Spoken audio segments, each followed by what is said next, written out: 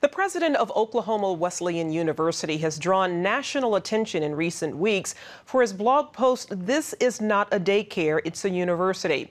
In it, he writes that students should be willing to be confronted about their ideas and says Oklahoma Wesleyan is not a safe place, but rather a place to learn.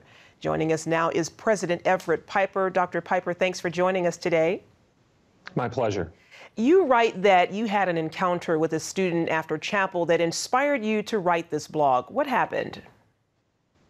Well, essentially, what we had is our required chapel attendance uh, here at Oklahoma Wesleyan University is twice a week, Wednesday and Friday. And after one of the services, in which the topic was 1 Corinthians 13, the quintessential love chapter of the Bible, one of the students came forward to the speaker afterwards and said that he felt singled out and likewise his peers did.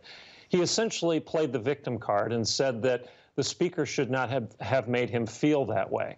As the result, I decided that I would challenge the students and challenge our community and frankly challenge the broader college with a capital C, if you will, my industry for what's going on on our college campuses and this this uh, inclination to throw a trigger warning, if you will, down on anything that makes the student feel uncomfortable. I don't think that's good education. I think the classical liberal arts education should challenge you and not make you feel comfortable, and thus my note. Okay, what kind of response have you received to your post on campus?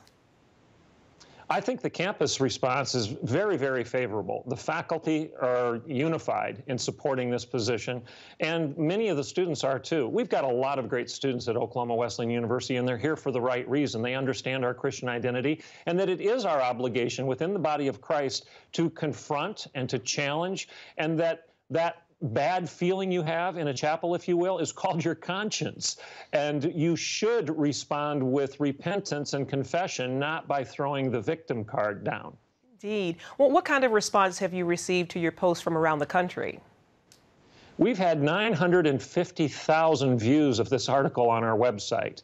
And that's aside from anything that you all in the media are doing. So the response has been overwhelming. I think I started a bit of a grass fire by simply telling a college community that I want you to learn. I don't want you to feel safe, per se. Well, you write in your blog that our culture has taught youth to be self absorbed and overly concerned about anything that might hurt their feelings. But there are real problems in our country surrounding race, sexuality, religious liberty, and some minority students have faced and continue to face discrimination. What do you think is the best way to encourage debate on college campuses in light of such realities? I think it's to go back to the classical liberal arts model and the church upon which it was founded. If you want to go back a thousand years, let's say Oxford and Cambridge, the Liberal Arts Academy was established to liberate people to give us freedom, to give us liberation and liberty. That is why the Liberal Arts College and University was founded. And how do you have that freedom? Jesus tells us where it comes from. You shall know the truth, and the truth shall set you free.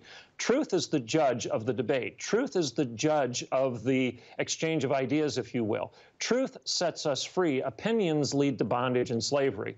And that is the beauty of the Christian message. The beauty of the message of Christ is he tells us how to have personal and corporate and social freedom. It is to honor the truth as the judge and not establish everyone as being their little judges and little gods to start imposing all of their ideas and opinions upon the rest of culture.